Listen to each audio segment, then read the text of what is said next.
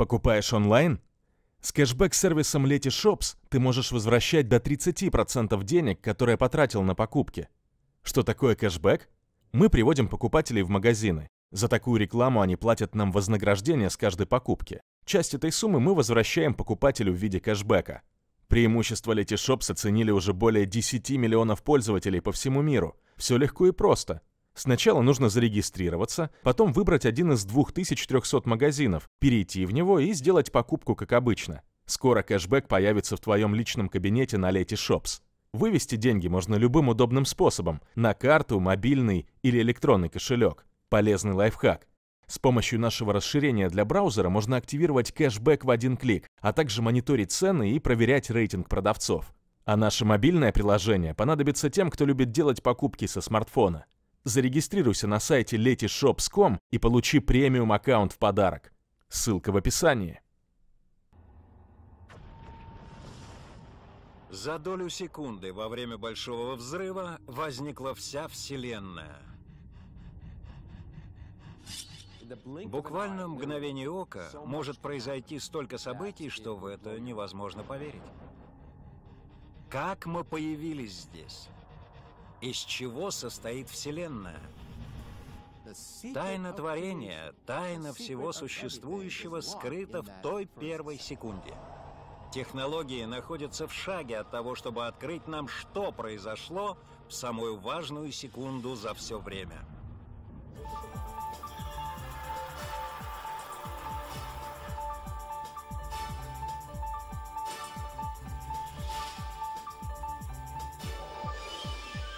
Точки зрения науки, большой взрыв.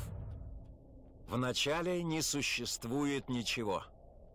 Ни материи, ни энергии, нет даже пустого пространства, потому что само пространство не существует. Нет течения времени, потому что нет такого явления, как время. В пустоте появляется огненный шар меньше атома. Он в 10 триллионов триллионов раз горячее солнечного ядра. Все, из чего позже возникает Вселенная, разлетается из точки, которая в миллионы раз меньше булавочного укола. Начинается отсчет времени. За секунду закладывается проект всего мироздания. Как это произошло – самая большая загадка в мире – Профессор Лоренс Краус посвятил свою карьеру изучению первых секунд после Большого Взрыва. Если мы действительно хотим понять наше место во Вселенной, нам нужно вернуться к самому началу и понять, как она возникла. Вернуться к моменту творения — это новая мысль. Теория Большого Взрыва получила широкое распространение.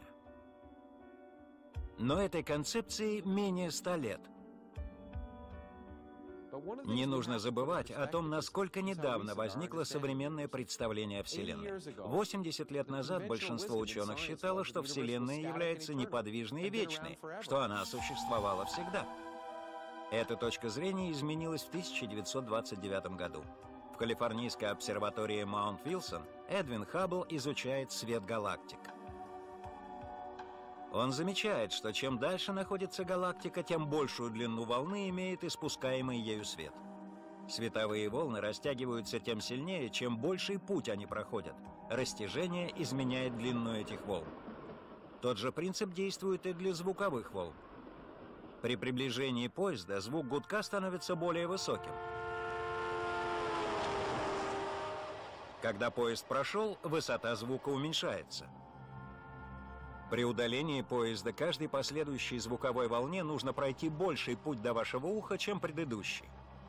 Звуковые волны растягиваются, при этом высота звука уменьшается. Примерно то же самое происходит со световыми волнами. Если галактика удаляется от нас, ее световые волны растягиваются и становятся более длинными и красными. Это называется красным смещением. Спектр видимого света с одной стороны имеет красный цвет, а с другой — синий. Красное излучение — это длинноволновое излучение видимого света, а синее излучение — коротковолновое. Когда мы смотрим на Вселенную, мы видим, как вытягивается излучение далеких звезд. При этом свет становится более красным. Чем дальше мы смотрим, тем краснее свет.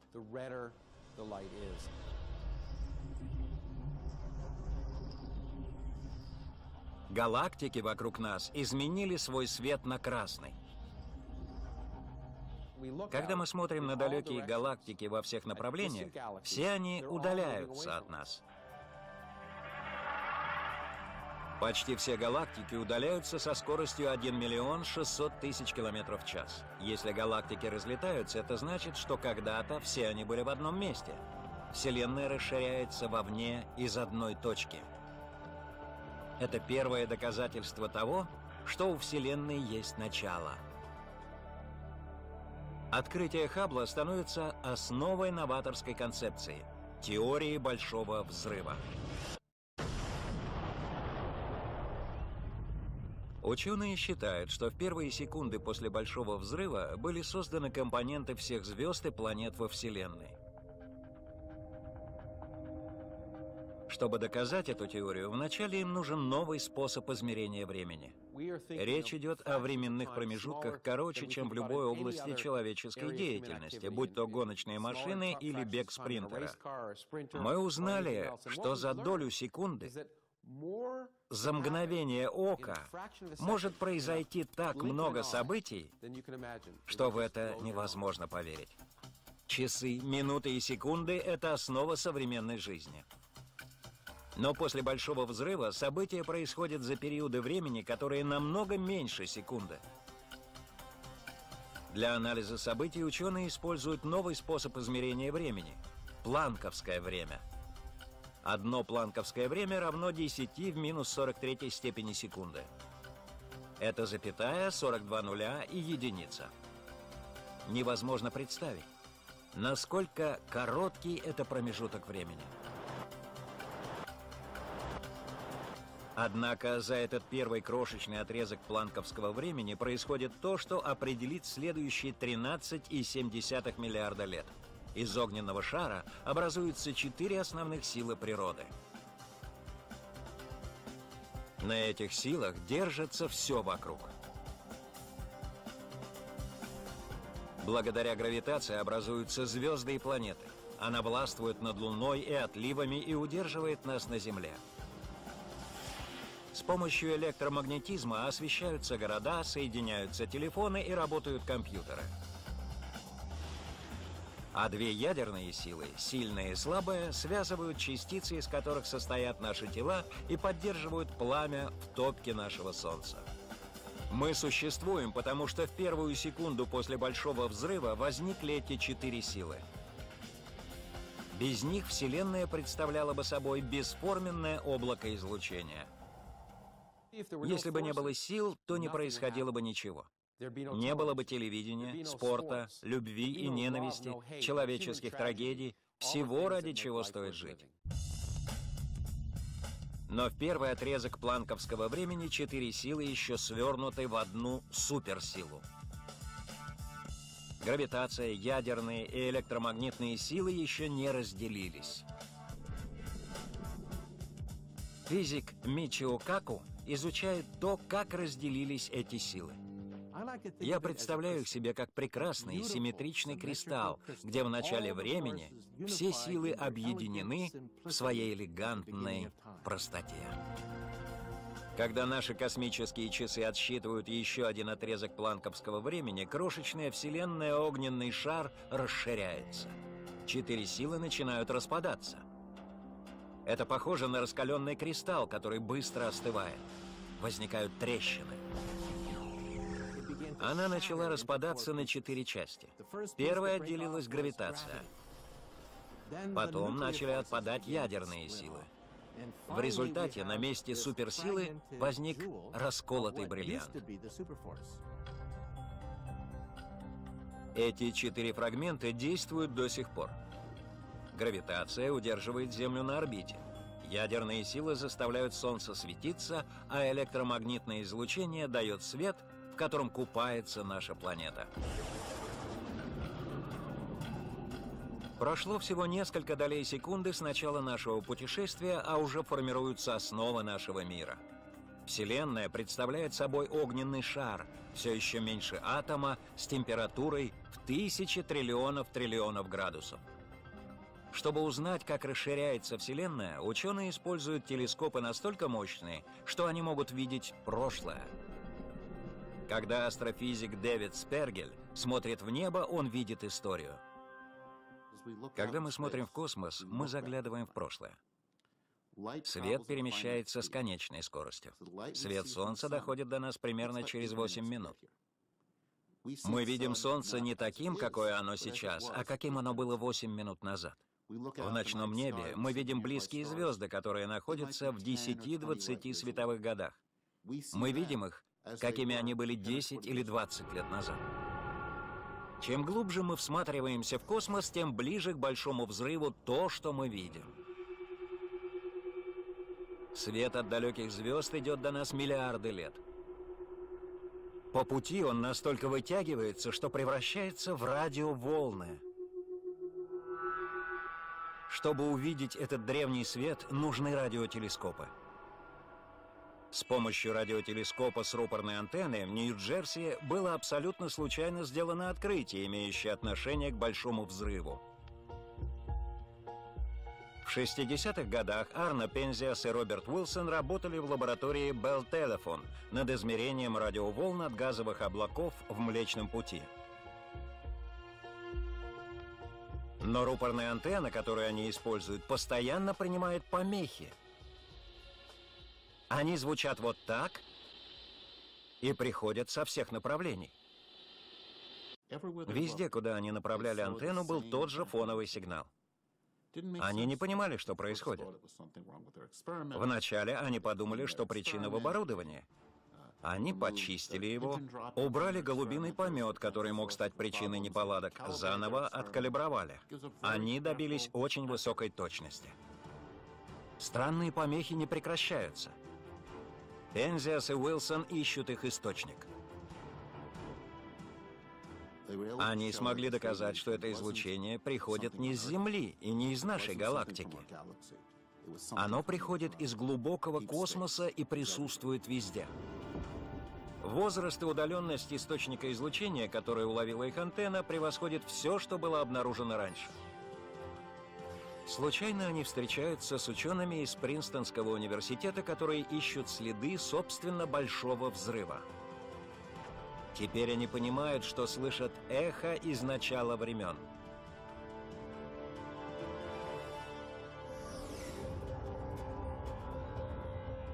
Большой взрыв был настолько мощным и горячим, что остатки этого тепла сохранились до сих пор.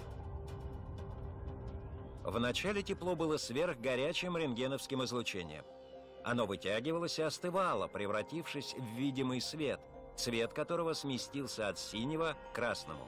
Потом свет стал микроволнами и, наконец, радиоволнами. Это слабое излучение постоянно светит на Землю. Его называют космическим микроволновым фоновым излучением или КМФ. Космический микроволновый фон — это эхо самого акта творения. Это тлеющие угли, оставшиеся от первой ударной волны, которая создала Вселенную. Если бы наши глаза могли видеть микроволновое излучение, то мы бы каждую ночь наблюдали большой взрыв, взглянув на небо. Прошло более 13 миллиардов лет, но у нас есть возможность увидеть эти космические отблески невооруженным глазом. Включите телевизор и не настраивайте канал. Пара процентов из помех, которые вы видите на экране, это излучение от большого взрыва. Это космическое излучение напрямую связано с большим взрывом. Оно также указывает на то, что Вселенная вступила в новый этап меньше, чем через одну триллионную секунды после своего возникновения. Космическое излучение позволяет узнать, что произошло после этого. Еще через несколько единиц планковского времени по нашим космическим часам Вселенная огненный шар преображается. В один момент Вселенная в миллиарды раз меньше атома. Через мгновение она расширяется до размеров бейсбольного мяча. При этом она увеличивается больше, чем за все последующие 13,7 миллиарда лет. Ученые называют это быстрое расширение инфляцией. Подтверждением служит космическое излучение, которое осталось после Большого взрыва. Как и помехи в вашем телевизоре, космическое излучение настолько постоянно и равномерно, что это озадачивает ученых. При измерении космического микроволнового фона в одном направлении его температура та же, что и в другом направлении. Она постоянно везде. Единственным объяснением может быть то, что инфляция Вселенной происходит во множество раз быстрее скорости света. При инфляции Вселенный огненный шар расширяется равномерно, как воздушный шарик, который надувает невероятно мощный поток воздуха. Я представляю себе, как я сжимаю пружину все сильнее и сильнее. Она уменьшается в размерах и накапливает огромное количество энергии. Когда я отпускаю ее, она распрямляется. Такая же накопленная энергия привела к экспоненциальному расширению Вселенной. Но если вся Вселенная была однородной с первой секунды после Большого Взрыва и дальше, как образовались галактики? Планеты и звезды вначале являются скоплениями частиц. Постепенно эти частицы материи соединяются под воздействием силы гравитации и образуют плотную массу. Земля появилась как скопление частиц, которые соединились за счет трения и гравитации. Солнце, которое поддерживает жизнь на Земле, возникло в виде облака газа и пыли. Но как вообще возникли эти кластеры? Видимо, ранняя Вселенная была не ровной, а шероховатой. Чтобы проследить связь между формированием звезд и планет и самой первой секундой после Большого Взрыва, ученые НАСА, такие как Дэвид Спергель, создают микроволновый анизотропный зонд имени Уилкинсона, или WMAP – Спутниковый аппарат, способный измерить температуру космического излучения подробнее, чем когда-либо раньше. Хотя это излучение присутствует везде, оно очень слабое. Чтобы вести за ним подробные наблюдения по всему небу, нужно удаляться от Земли и любых других источников излучения, создающих помехи. В 2001 году НАСА запускает зонд and liftoff of the Delta II rocket with the MAP spacecraft, exploring the past and future of our universe. Возможно, с его помощью будет получен самый точный портрет Вселенной в первую секунду ее существования. Запуск зонда был невероятно напряженным, но волнующим моментом. Мы увидели, что он взлетел и начал работать.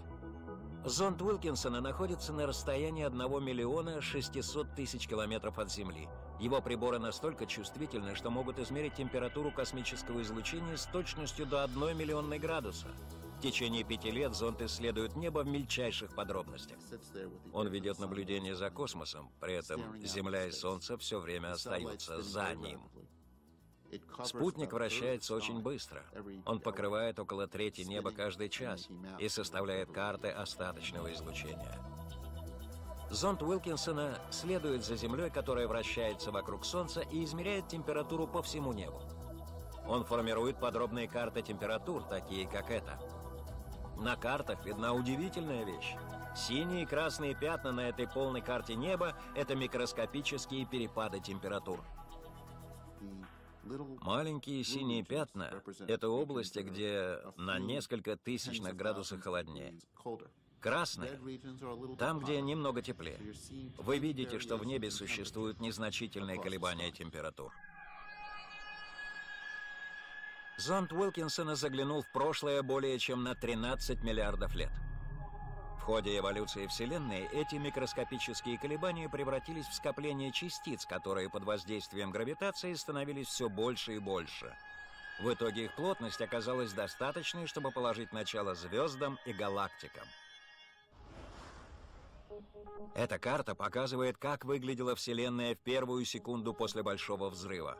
Это шаблон, по которому сформировался сегодняшний огромный космос. Когда изображение космического микроволнового фона впервые было опубликовано, пресса назвала его «лицом Бога». Давайте будем реалистами. Это не лицо Бога, а детская фотография. Фотография Вселенной в младенчестве. Поэтому открытие космического микроволнового фонового излучения — это одно из величайших открытий науки в целом.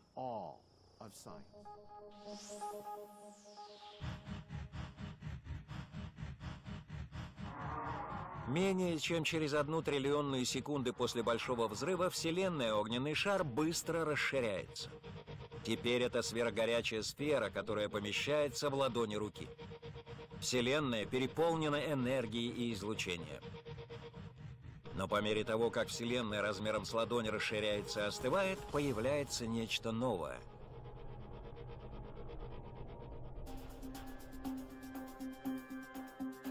С момента Большого Взрыва прошла всего доля секунды, а судьба Вселенной уже предначертана. Солнце горит благодаря силам, созданным более 13 миллиардов лет назад. Звезды и планеты образовались благодаря тому, как быстро расширяется Вселенная. Ученые могут проследить связь между всем, что мы видим сегодня, и первой секундой творения – но мы появились благодаря тому, что произошло за следующие несколько мгновений планковского времени. Вселенная заполнена составными элементами материи. До настоящего момента на наших космических часах ранняя Вселенная состоит исключительно из энергии. Как чистая энергия превратилась в материю. Все вокруг вас состоит из материи то, на чем вы сидите, воздух, которым вы дышите. Вся планета состоит из материи, а материя состоит из атомов. И в первую секунду после Большого Взрыва образуются компоненты атомов. То, как появилась материя, было тайной для ученых. До тех пор, пока в 1905 году Альберт Эйнштейн не вывел самое знаменитое уравнение в мире – Е равно mc квадрат. Уравнение Эйнштейна говорит, что энергия Е и масса m являются разными формами одного и того же явления. Материя и энергия могут переходить друг в друга. Позже некоторые ученые используют это уравнение, чтобы создать самое разрушительное оружие в истории – атомную бомбу – После этого ученые получают новую информацию о том, что произошло в первую секунду. При ядерном взрыве частицы материи разрушаются, высвобождая огромное количество энергии. Во время Большого взрыва все происходит с точностью до наоборот. Огромное количество энергии превращается в материю. Уравнение Эйнштейна дает основание для вывода – ходе расширения и охлаждения ранней Вселенной энергия Большого Взрыва превращается в частицы материи, из которых мы состоим.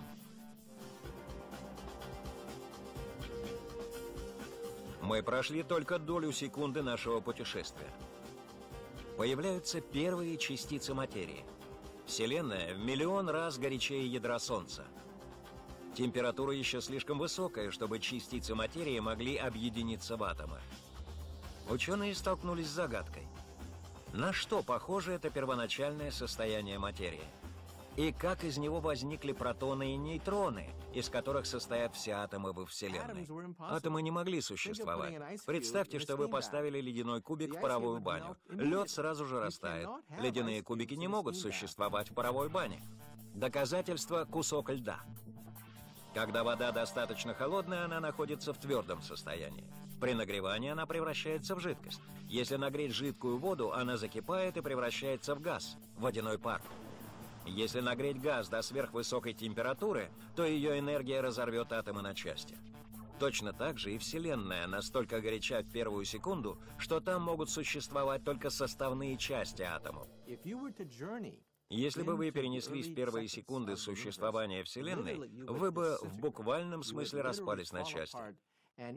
И даже остатки, ядра из вашего тела разлетелись бы на субатомные частицы. От вашего тела не осталось бы ничего.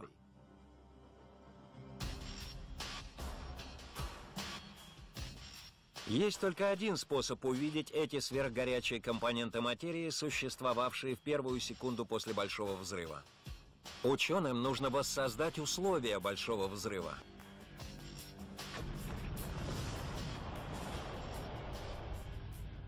Температура внутри звезды измеряется десятками миллионов градусов, а Большой Взрыв — триллионами триллионов градусов.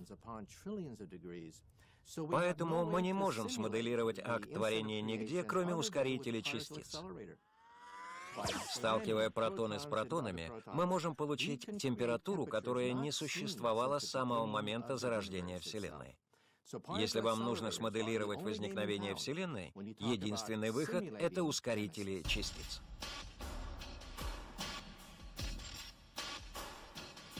Это Брукхевенская национальная лаборатория на Лонг-Айленде. Здесь находится релятивистский коллайдер тяжелых ионов, или РИК. Это четырехкилометровое кольцо, в котором ядра атомов золота сталкиваются почти на скорости света.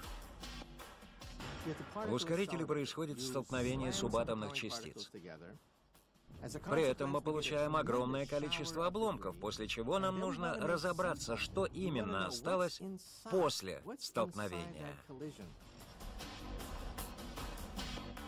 Это столкновение обладает колоссальной энергией. В уменьшенном масштабе оно воспроизводит первую секунду Вселенной в зачаточном состоянии. Как? Разрывая ядра на протоны и нейтроны, из которых они состоят. Этой энергии достаточно даже для того, чтобы разрушать протоны и нейтроны. Внутри ученые обнаруживают составляющие компоненты материи – крошечные частицы под названием кварки.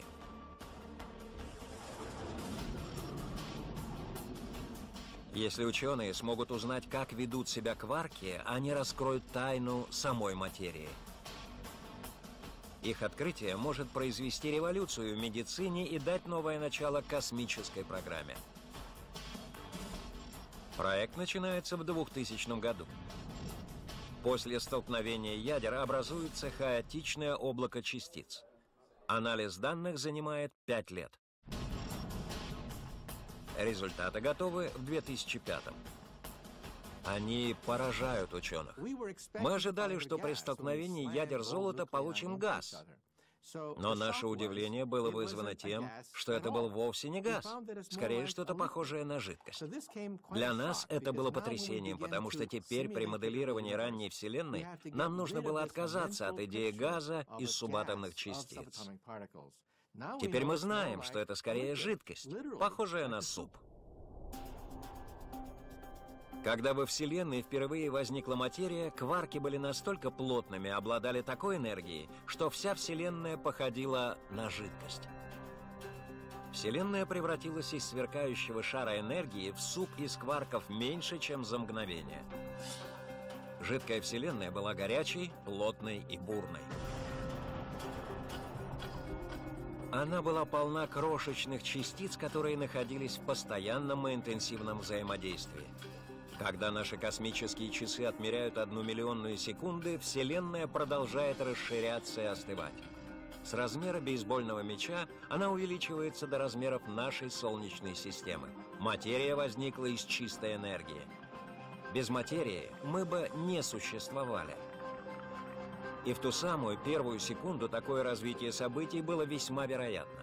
Вся материя во Вселенной оказывается под угрозой полного уничтожения – Приближается Армагеддон.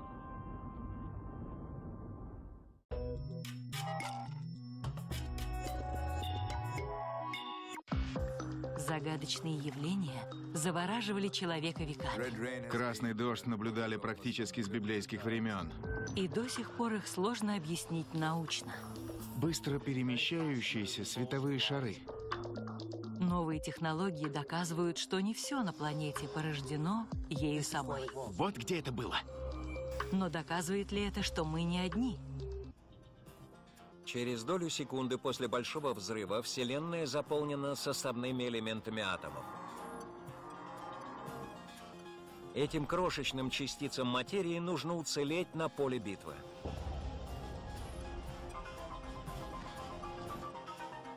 Все вокруг нас состоит из материи, которая образовалась из энергии, высвобожденной в результате Большого Взрыва. Каждая молекула, каждый атом, каждый кварк. Как мы получили Вселенную, в которой так много материи, это один из самых важных вопросов. Возможно, ответ на него даст ускоритель частиц. При моделировании первой секунды в равных долях образуются два типа материи. Один тип материи находится вокруг нас. Второй, его противоположность, антиматерия. Доктор Тара Ширс объясняет, что это две стороны одной медали. Это яблоко состоит из материи. Мы знаем, что у каждой частицы материи во Вселенной есть аналог из антиматерии, который образовался при Большом Взрыве. Антиматерия походит на обычную материю, но не совсем. На самом деле, это ее зеркальное отражение. Поэтому антияблоко выглядит вот так. Но материя и антиматерия — смертельные враги. Они не могут существовать вместе. Всего через несколько долей секунды после Большого Взрыва будущее Вселенной поставлено на карту. Материя и антиматерия сошлись в смертельной битве. Через одну миллионную долю секунды после Большого Взрыва идет яростная битва. Когда материя сталкивается с антиматерией, происходит взрыв. Если фрагмент материи всего лишь размером с яблоко соприкоснется с равным количеством антиматерии, выделенная энергия будет эквивалентна взрыву 10-мегатонной ядерной бомбы. Если бы вы смогли отправиться в самое начало существования Вселенной после Большого Взрыва, то оказались бы в кипящей массе аннигилирующей материи и антиматерии. Вы оказались бы посреди космической битвы между этими противниками, так сказать, под перекрестным огнем. Так как все частицы находятся в сверхплотном жидком состоянии, материя и антиматерия легко соприкасаются и уничтожают друг друга. Поскольку они возникли в равной пропорции, и каждая частица материи аннигилирует при соприкосновении с античастицей, то вся материя должна исчезнуть сразу же после возникновения. Вся материя рано или поздно соприкоснулась бы с антиматерией и аннигилировала. При этом остается только излучение. Я собираюсь сказать, что тогда мы бы жили во Вселенной исключительно из излучения, но это не так, потому что нас вообще бы не было. Не было бы ничего, кроме излучения. Но Вселенная заполнена материей. Как ей удалось взять верх над антиматерией? Это одна из величайших тайн науки. По одной теории антиматерия менее устойчива и распадается быстрее, что обеспечивает микроскопический дисбаланс между материей и антиматерией. Этот незначительный дисбаланс в конечном итоге позволяет материи превзойти антиматерию.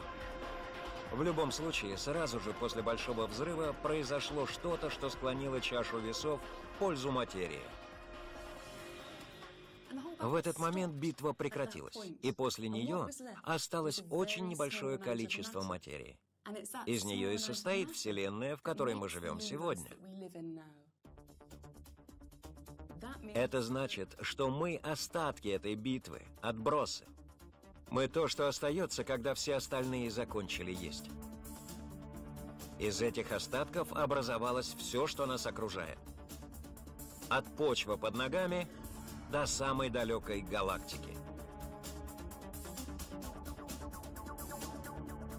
Время на космических часах приближается к концу первой секунды. За это время четыре силы природы выделились из одной суперсилы — определился победитель в войне между материей и антиматерией.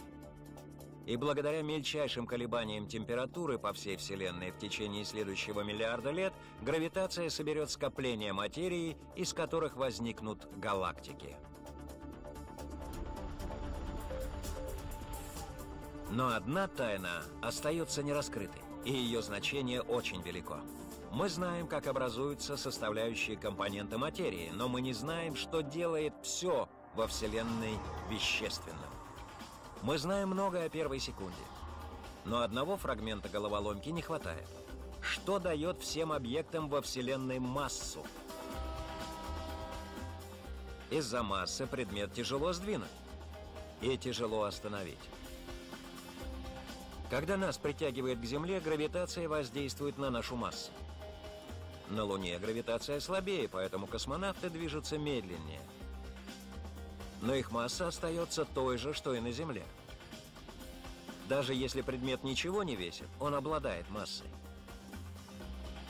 Первую секунду должно было появиться то, что дает частицам массу, но ученые не знают, что это.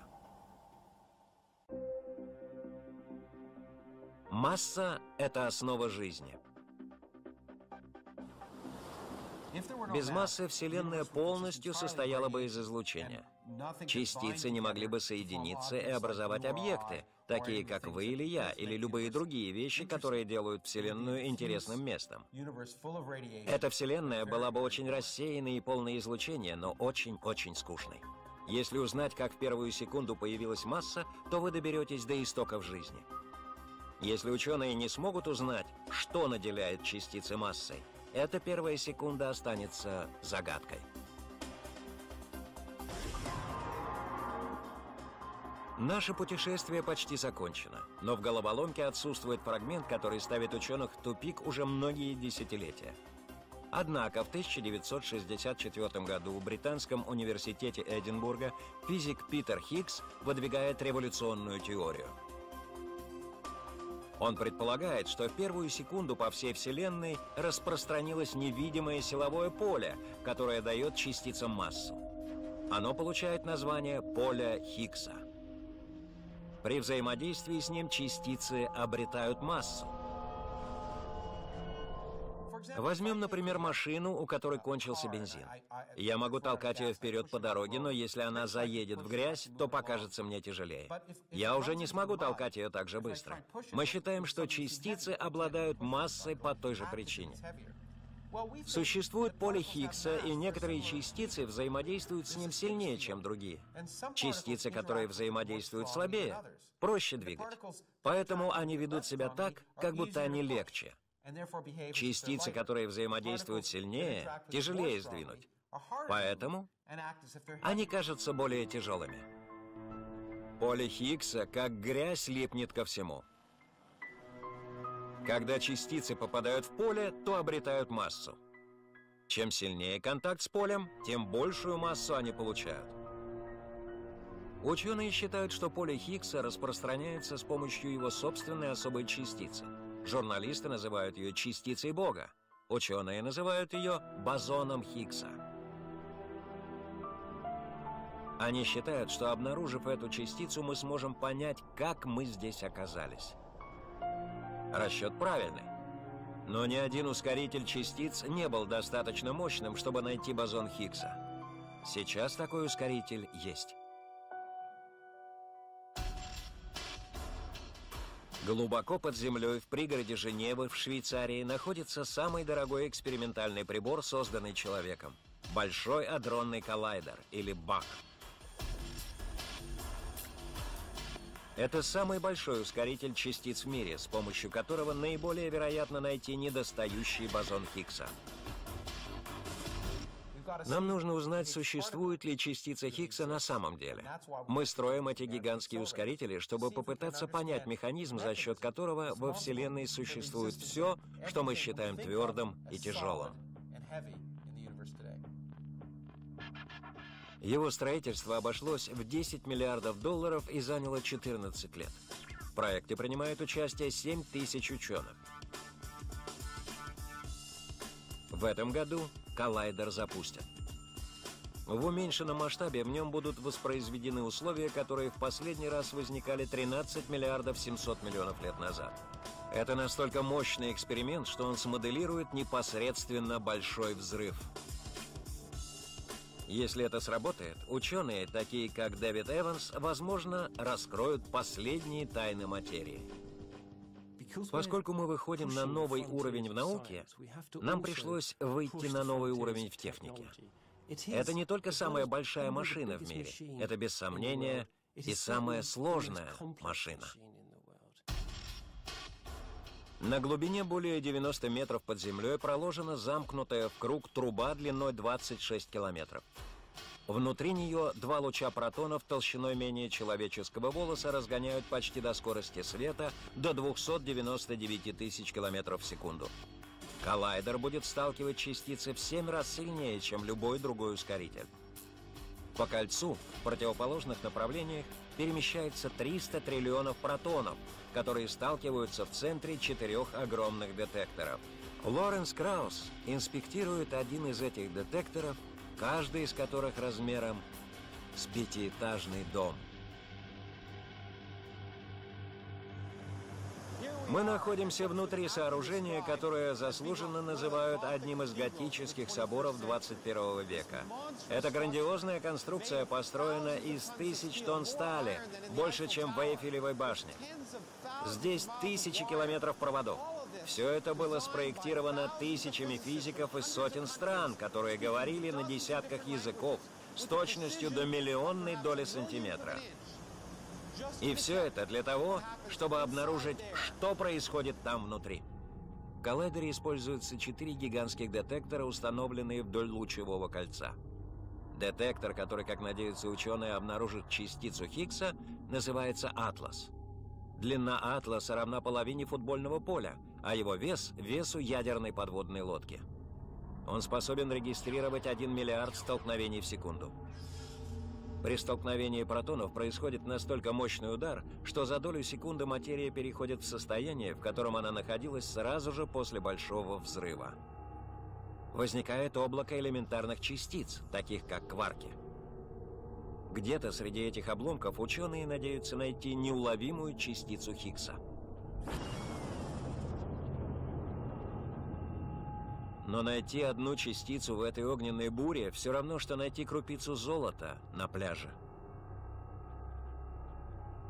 Частица Хиггса так мала и недолговечна, что детектор не сможет обнаружить ее непосредственно. Вместо этого ученые рассчитывают обнаружить след, который она оставляет с помощью самых совершенных камер в мире – когда самолет чертит в небе надписи дымом, вы видите огромный шлейф, но не сам самолет. Его не видно, потому что он слишком мал. Точно так же мы используем детекторы. Детекторы не могут обнаружить саму частицу, но способны найти след, который она оставляет. По этому следу мы можем определить, что это за частица и как быстро она движется.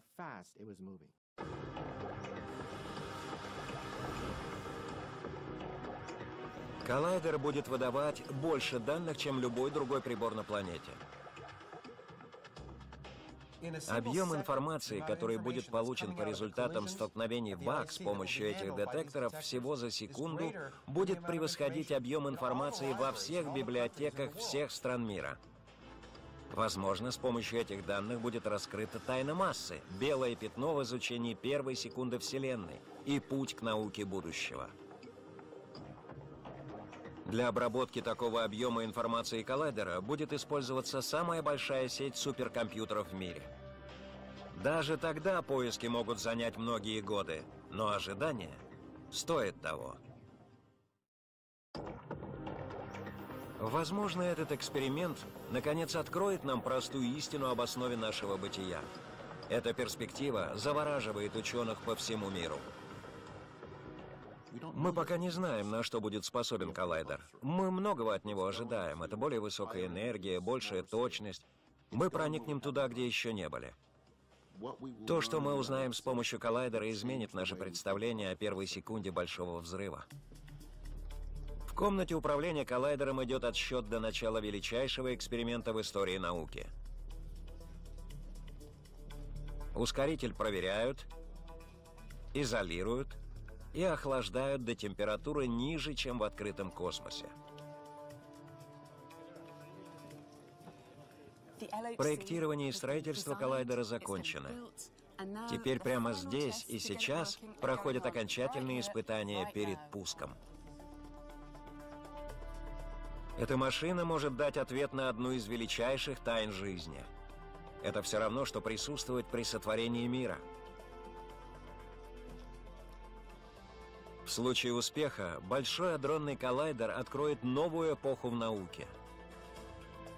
Если с его помощью не удастся найти частицу Хиггса и объяснить, как материя получает массу, тайна первой секунды останется не полностью разгаданной.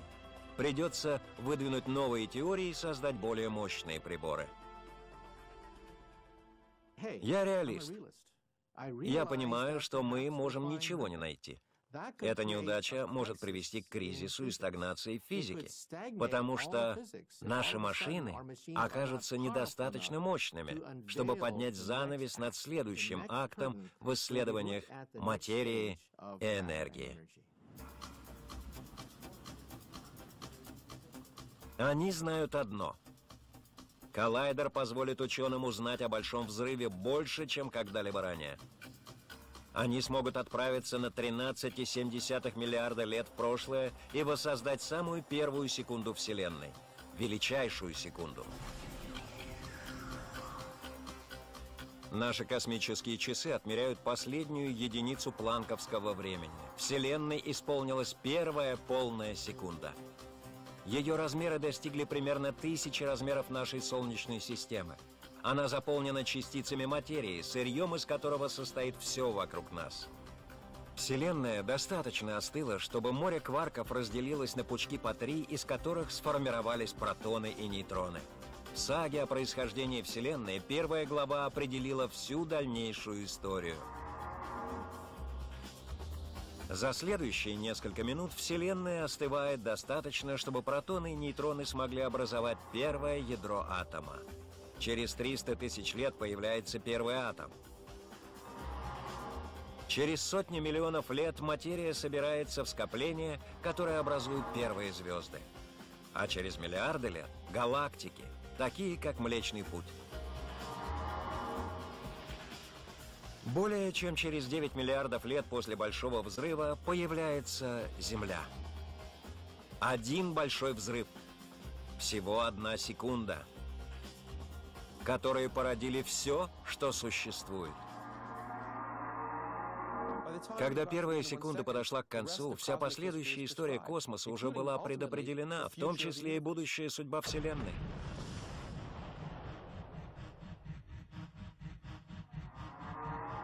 Более чем через 12 миллиардов лет после Большого взрыва появляются люди. Вид, обладающий интеллектом, который позволяет задать вопрос, как мы здесь оказались? Из чего состоит Вселенная? В этом году наука приблизится к тому, чтобы ответить на этот вопрос. Ключ к разгадке будет заключен в первой грандиозной секунде.